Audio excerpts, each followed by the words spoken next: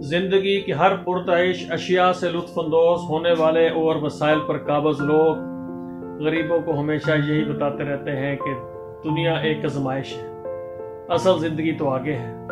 अमीरों के सामने सदकात खरात पे जन्नत के किस्से और गरीबों के सामने जहन्नम के किस्से। ऐसे लोग हमारे इर्द गिर्द ही हैं।